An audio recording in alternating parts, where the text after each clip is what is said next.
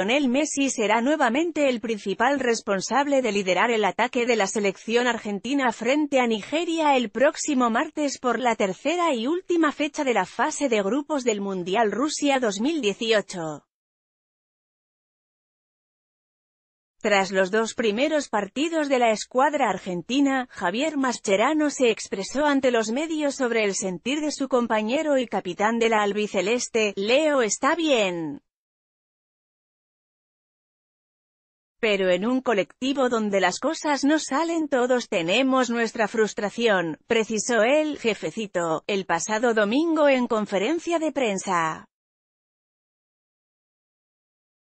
Además, conversó sobre los ánimos del astro argentino en querer contrarrestar la delicada situación de la selección argentina lo antes posible ante la escuadra nigeriana. Él es un ser humano y tiene sus frustraciones, pero está con ganas de revertir la situación y de revertir la imagen que estuvimos dando en estos dos partidos, sentenció Mascherano.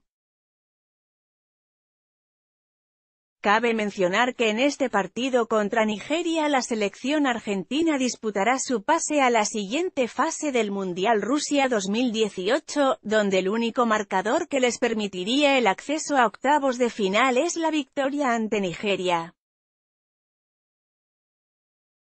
El cotejo tendrá lugar lugar en el St. Petersburg Stadium, ciudad de San Petersburgo, en punto de las 1 HRS, tiempo del centro de México, en esta nota.